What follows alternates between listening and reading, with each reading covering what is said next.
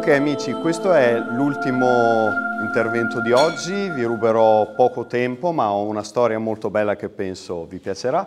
Io mi chiamo Lorenzo Piccinini e da tre anni ho iniziato questa avventura divulgativa tramite una TV, tramite un emittente regionale dell'Emilia Romagna che mi ha concesso questo piccolo spiraglio per poter divulgare queste verità che coprono un ampio ventaglio no? di tutta questa faccenda, perché si va dall'esoterico all'ufologico, ai messaggi mariani, alla spiritualità connessa alla tecnologia, perché abbiamo visto, grazie ad Alberto, che certe cose riguardano la luce e la luce, la nostra cultura, la immagina come tecnologia. Quindi eh, io intanto ringrazio di nuovo Davide per la giornata di oggi, grazie, grazie, grazie.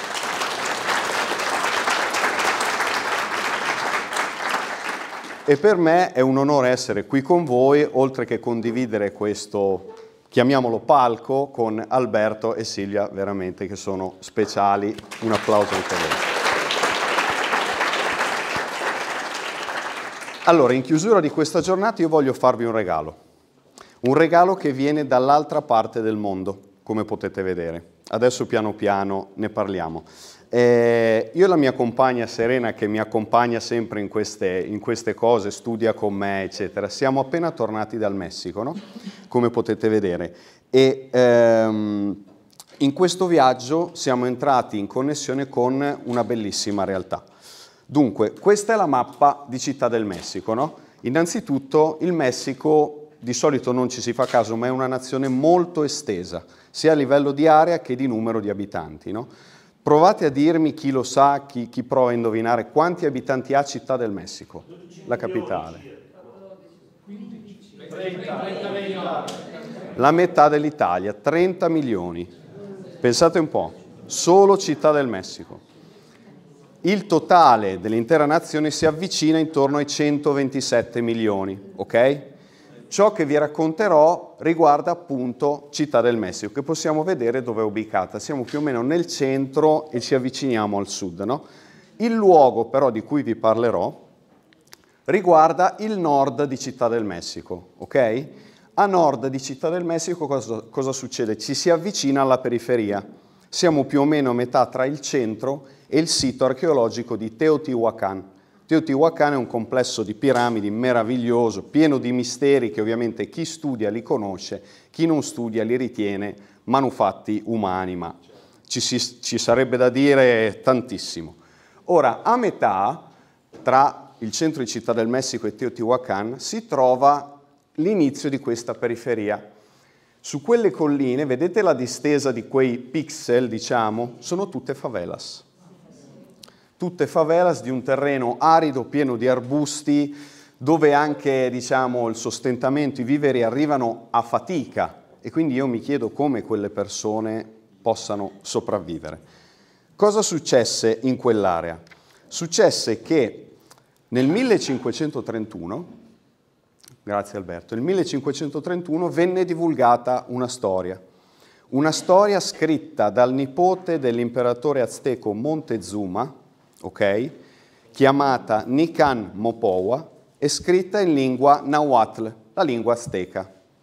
Nel 1531 siamo solo a dieci anni dalla conquista definitiva spagnola nelle terre messicane, dai genocidi crudelissimi di Hernán Cortés e della sua banda di soldati che andarono a distruggere quella cultura. È stato bruciato tutto, Ciò che ci è rimasto è uno scritto del, eh, di un prelato, Diego de Landa, che ci riportò la cultura dei Maya, degli Aztechi, il loro modo di vivere. Ma ovviamente io penso che tutta la branca misterica sia stata data alle fiamme. Cosa successe nel 1531? Che un uomo del popolo, chiamato Juan Diego, si stava recando verso la città, okay? per imparare le dottrine della nuova appunto dottrina imposta da Cortés e i suoi amici. Attraversando una di queste colline a nord di Città del Messico, chiamata Tepeyac, successe che si imbatté in un canto di uccelli. Questo canto, no, stiamo parlando di vibrazioni, come diceva Silvia prima, gli diede una grande pace proprio perché sono onde elettromagnetiche queste vibrazioni. A un certo punto queste onde, questo canto si interruppe e lui rimase nel silenzio più totale. Dopodiché questo silenzio si ruppe di nuovo e una voce molto angelica, molto celestiale, lo chiamò, gli disse Juanito, Juanito Diego. Lui ovviamente interdetto rimase un po' così e cercò di seguire la voce, quindi andò in direzione di quella voce. Attraversato il valico del Tepeyac si trovò davanti, ecco scusatemi, questo è Juan Diego chiamato Cuautlatoatzin, ok, nome azteco, quindi se erano solo dieci anni dalla conquista spagnola, questi nomi erano ovviamente ancora in uso. La situazione in cui si trovò Juan Diego fu questa. Ci fu un'apparizione. Ci fu un'apparizione di quella che poi, state già dicendo, è diventata la Vergine della Guadalupe. Ma come si sviluppa questa storia? Che questa donna, io la chiamo, come diceva William Blake, la donna vestita di sole perché era lucente, no? gli espresse la sua stima, il suo amore per lui, gli, gli, spiegò quanto era importante per lui nonostante fosse un semplice uomo del popolo, ignorante e povero. Dopodiché ci fu il primo dialogo tra la donna e l'uomo. Questo primo dialogo disse, Juanito, mio piccolo figlio, dove vai? Signora mia, sto andando in città a casa tua ad imparare le cose di Dio. Quindi anche lui, nonostante l'ignoranza, l'essere un popolano, aveva già capito chi aveva davanti. Io sono la Vergine Maria, madre del Dio che dà la vita. Sappi e tieni presente che tu sei il più piccolo dei miei figli. Desidero vivamente che in questo luogo mi venga costruita una chiesa dove far vedere tutto il mio amore, la mia pietà, il mio aiuto e tutta la mia protezione. Io sono vostra madre, piena di compassione, tua e di tutti voi che vivete in questa terra e di tutti gli uomini che mi amano e mi invocano. Vai nel mio nome e stai sicuro che ripagherò ciò che farai e ti renderò felice. Ora, cosa chiese questa donna a Juan Diego? Chiese di presentarsi al vescovo in carica di quegli anni, Fra Juan de Zumarraga, ok? Per chiedergli di erigere in quella zona una basilica, una chiesa, in onore appunto della Madonna, in modo che si cominciasse a vivere questa realtà. Juan Diego, ecco questo era Juan de Zumarraga, Juan Diego si presentò a lui spiegando dell'apparizione, spiegando diciamo del miracolo, ma ovviamente l'uomo di chiesa, ovviamente appena insediatosi da pochi anni, non credette a un uomo del popolo, a uno straccione. Così che Juan Diego tornò a casa, diciamo, molto triste per il risultato ottenuto. E la Madonna che gli apparve di nuovo si sentì dire da, da Juan Diego, eh, guarda, io non ce l'ho fatta, manda qualcuno di un po' più importante rispetto a me, perché io non posso riuscire ad arrivare a fare erigere addirittura una chiesa su una collina a chi comanda su noi poveracci, no? E qui abbiamo il secondo dialogo fra i due.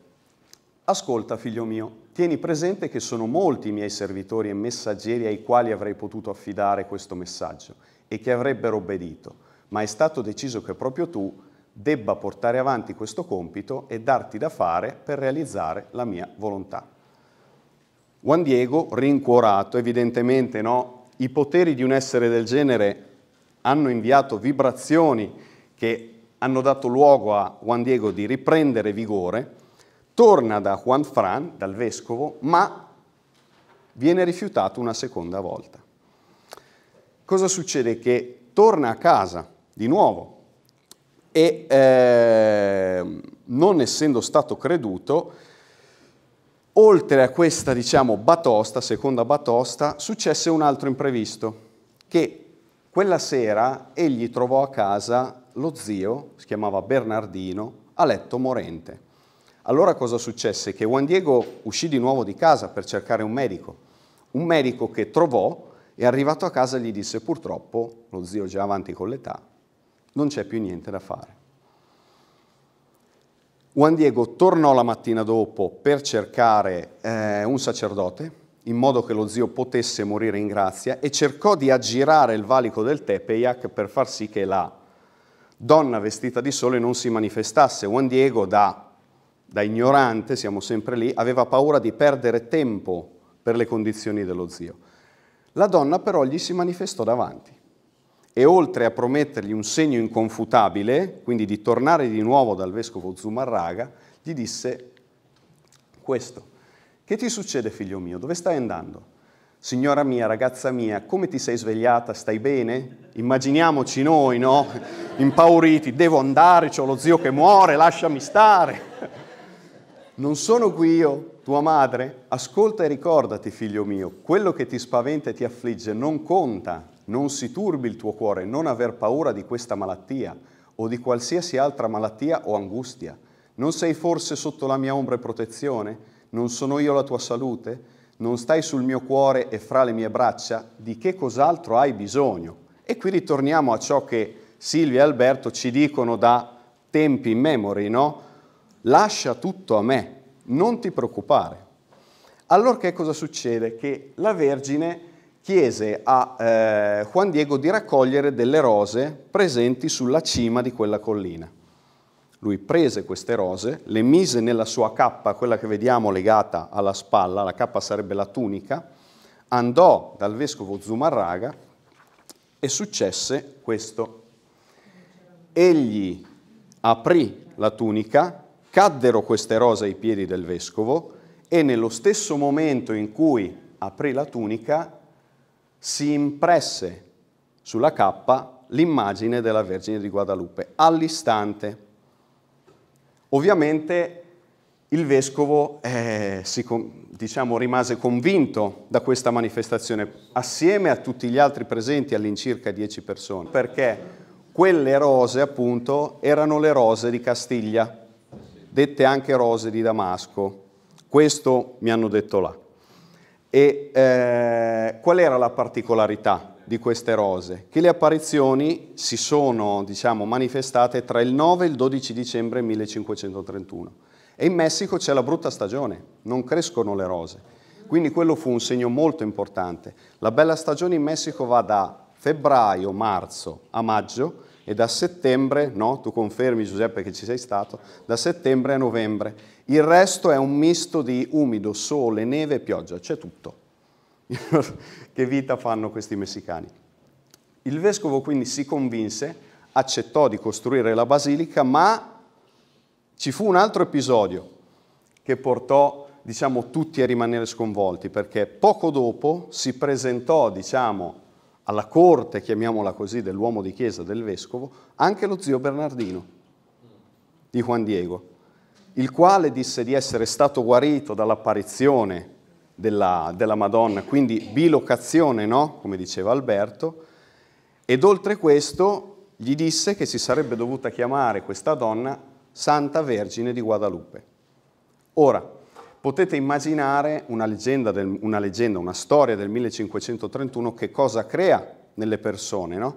Crea la solita dualità. No? C'è chi cerca di distruggere tutte le prove, anche le più evidenti, c'è chi invece ci crede ciecamente senza magari andare a studiarsi i dettagli di tutto ciò e ci sono quelli che Dante chiamava gli ignavi, gli indifferenti, che forse sono i peggiori. Andiamo quindi ad analizzare le prove che abbiamo di questa bellissima storia. Punto 1. Allora, eh, le rose di Castiglia abbiamo detto che non crescono a dicembre e che furono date come prova proprio perché il vescovo doveva capire la veridicità di queste apparizioni. Punto 2, la tunica o tilma. Dunque, prima dell'anno 2000 fu indetta una eh, selezione di esperti per fare eh, ricerche per analizzare questa vecchia tunica, questa vecchia tilma, la quale già era sfilacciata al tempo ma tramite queste analisi non si trovò segno di altra usura e si scoprì che eh, questa tunica era fatta di un'agave messicana che solitamente dura 20 anni. Ora facendo un rapido calcolo, gli anni dal 1531 a oggi sono circa 492.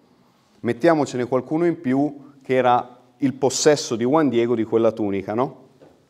Quindi 492 anni di conservazione, di cui io immagino e dico poco, il primo secolo solo, esposta al caldo torrido del Messico, ai cambi di umidità, di temperatura e alla polvere.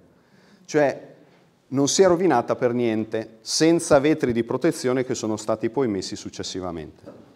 Punto 3, l'immagine della Vergine. Dunque, la pittura di cui è composta l'immagine eh, è ancora viva, è viva e lucente. E cosa successe? Che un, un piccolo eh, diciamo, pigmento, qualche pigmento di questa pittura venne inviato al premio Nobel per la chimica del 1938 Richard Kuhn.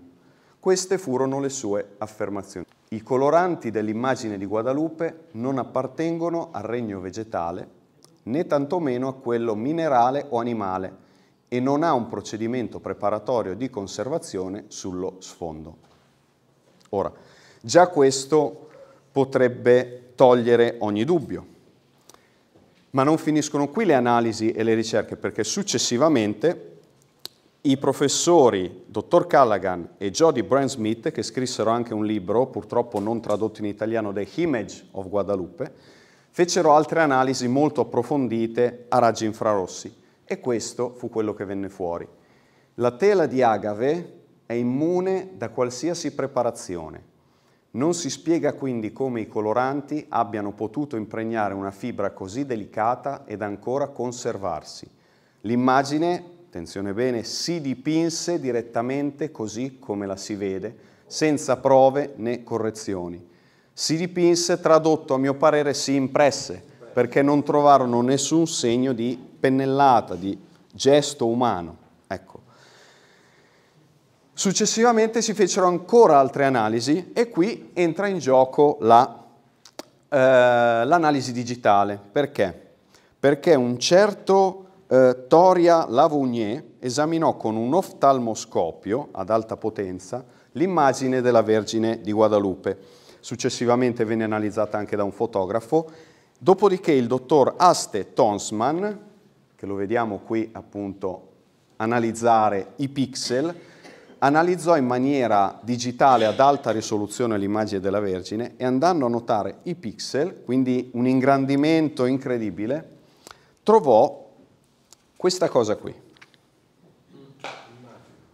Nell'occhio della Vergine un'immagine.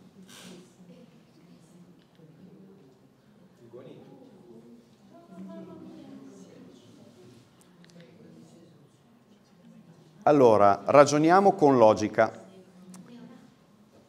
Nell'altro occhio ci sono poi altre figure. Ok? Ragioniamo con logica. La tilma, la tunica, è alta circa 1,50 m. Abbiamo visto che è a figura intera.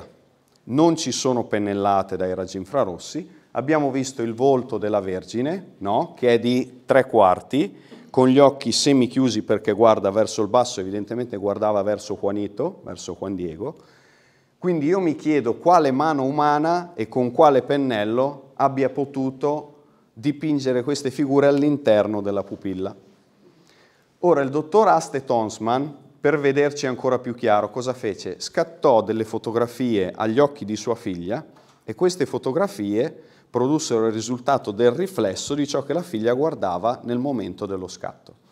Ora, a livello di anatomia si sapeva che la cornea registra ciò e riflette ciò che si sta guardando, ma che questa immagine portasse questi riflessi fu incredibile, 1500. Quindi chi potevano essere? C'era un uomo con la barba, un anziano con la barba bianca, il vescovo Zumarraga, Juan Diego, lo zio Bernardino e tutti presenti. Ora, riassumendo il tutto, questa immagine, perché altrimenti no, ci si dovrebbe soffermare sui dettagli molto di più. Occhi presentano immagini così piccole che sono visibili soltanto con l'utilizzo della tecnologia moderna. Capelli sciolti, per gli aztechi rappresentava la verginità. Mani unite in segno di preghiera, la sinistra più scura, la destra più chiara, unisce le due razze. Cosa ci insegna questa apparizione?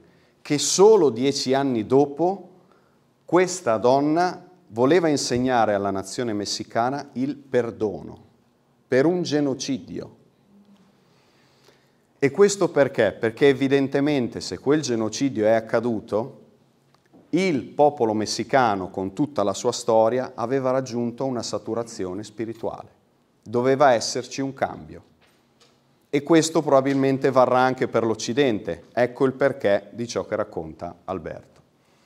46 stelle formano una costellazione che fu vista in Messico lo stesso giorno dell'apparizione. Ora, chi studia l'astrologia legata all'antichità, no? guardando i movimenti appunto degli astri, eccetera, si è accorta che non solo le stelle sul manto della Vergine di Guadalupe corrispondono al cielo di allora, ma sono disposte nel modo in cui qualcuno le, è come se le guardasse da sopra, come se fosse un'altra entità che le guardava dal cosmo.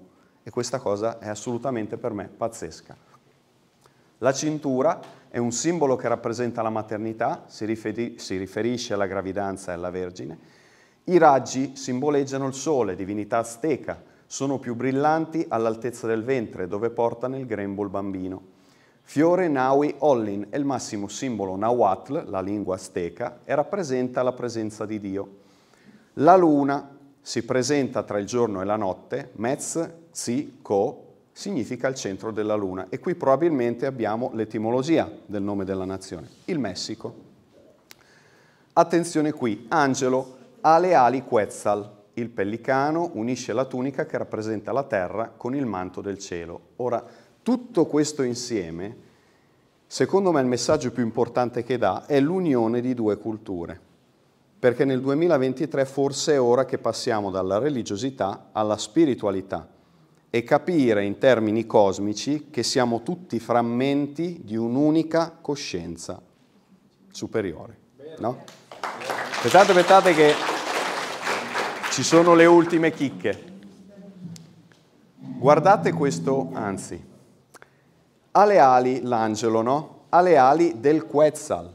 Che cos'è il Quetzal? Il serpente piumato. Il serpente piumato, ma è anche un eh, volatile della giungla del Messico, dei vari siti Maya, con questi colori, rossi, giallo e verde.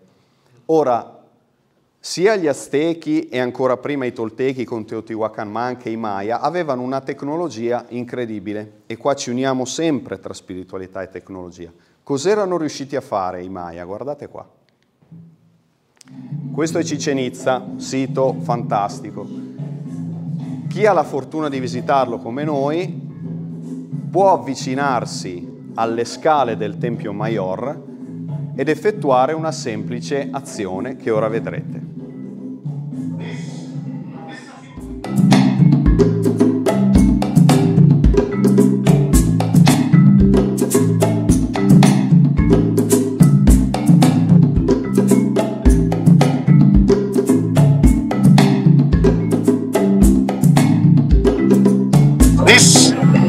Simple echo. Actually, it's very simple to explain.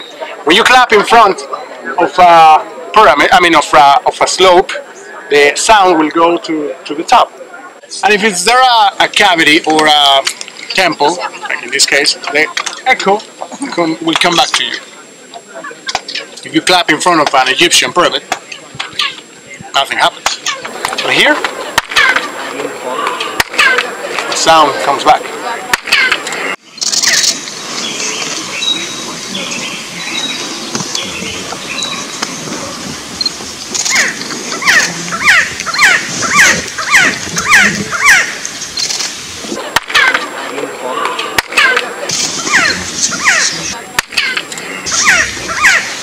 Why sounds like a bird?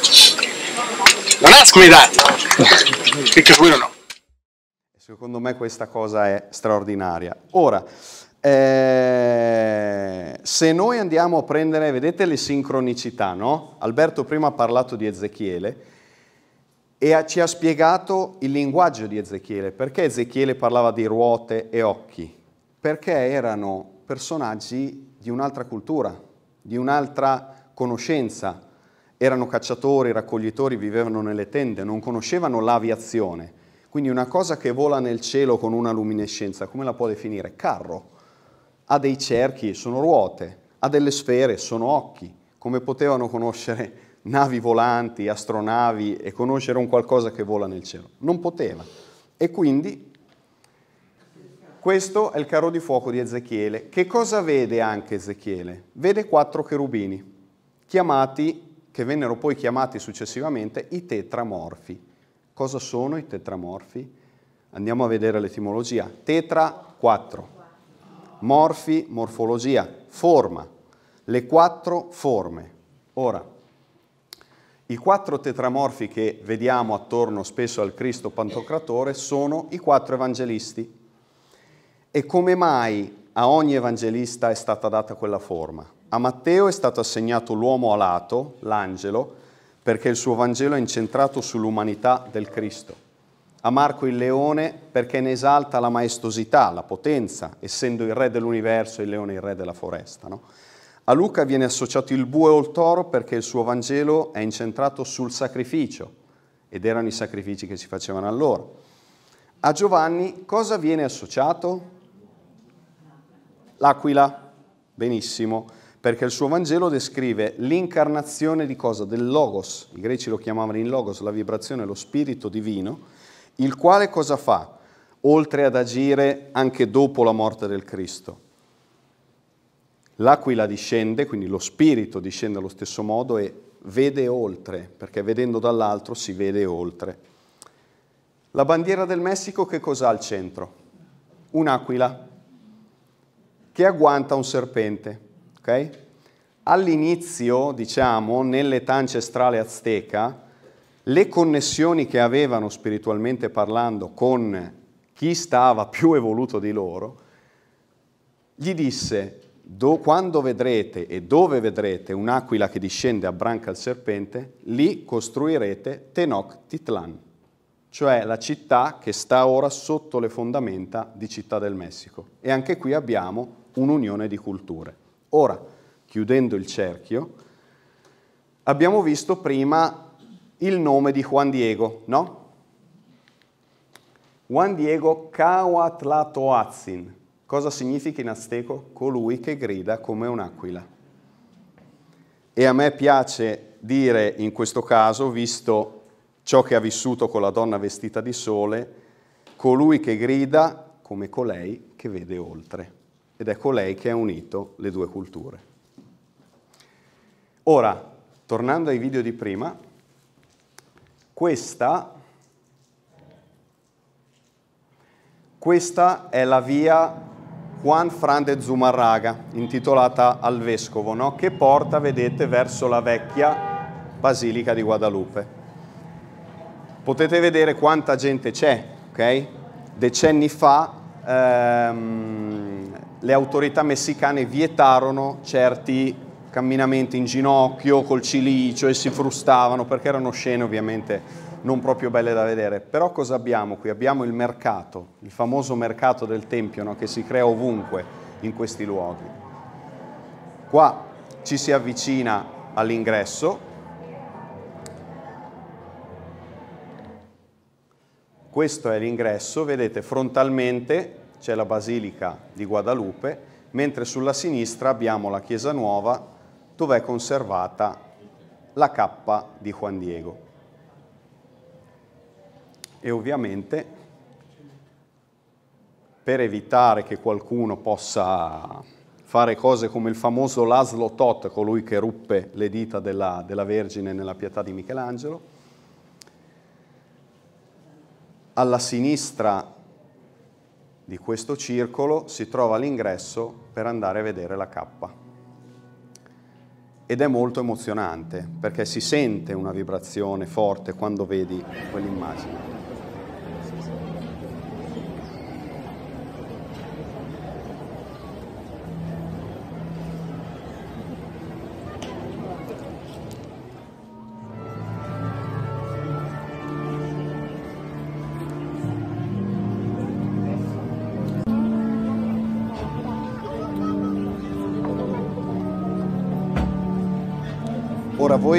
Starete chiedendo, ma quindi qual è la sorpresa? Solo queste chiacchiere? No, perché anche lì alla Vergine di Guadalupe diciamo c'è dell'acqua Siccome io eh, mi avvezzo a studi di un determinato tipo, essendo laureato in scienze dei beni culturali, specializzazione in paleontologia, eccetera, il cielo mi ha donato una compagna che studia radionica. Okay? La radionica è un qualcosa che può informare le sostanze, okay? fra le tante cose che fa, anche la guarigione.